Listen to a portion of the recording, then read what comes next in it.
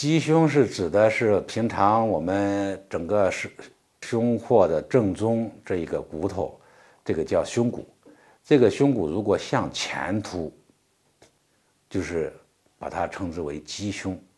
假如说这个胸骨要往后要往里边要下陷，一般这个胸廓就像一个漏斗状，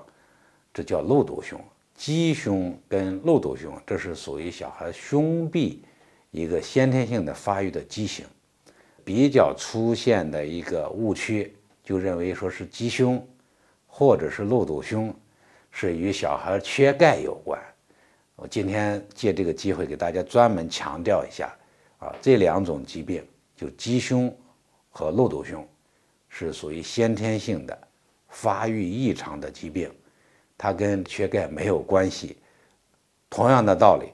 你在这种情况给小孩如果说补钙，也不会达到它的效果。